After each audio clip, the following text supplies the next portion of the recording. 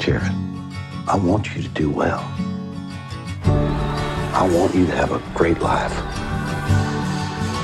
I love you, but we cannot see a way that you can live under this roof if you're going to fundamentally go against the grain of our beliefs. Jared, tell me the truth. That's all. I think about men. I don't know why.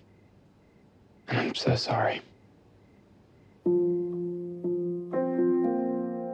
Your parents signed you up for a program to fix you, but Jared, you are a perfectly normal, very healthy teenage boy.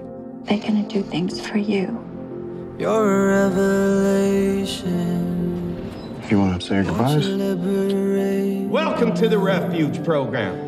You cannot be born a homosexual. This is a lie. It's a choice. Go. Fake it till you make it. Become the man you are not. Save yourself. Jared, God will not love you the way that you are. Is this what you want? Who's gonna strike this demon down? Hit him! It's a rocky I'm having a tough time. I'm gonna give you some advice. Tell them whatever they want to hear.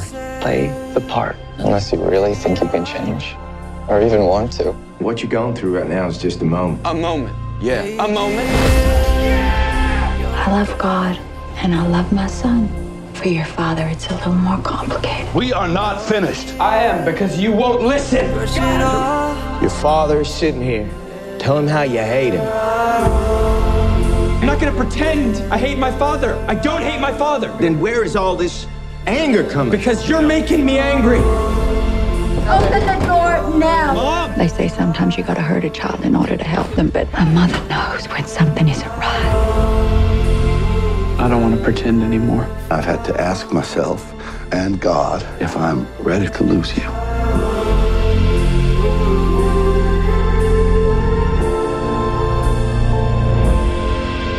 You're a revelation. Won't you liberate me now?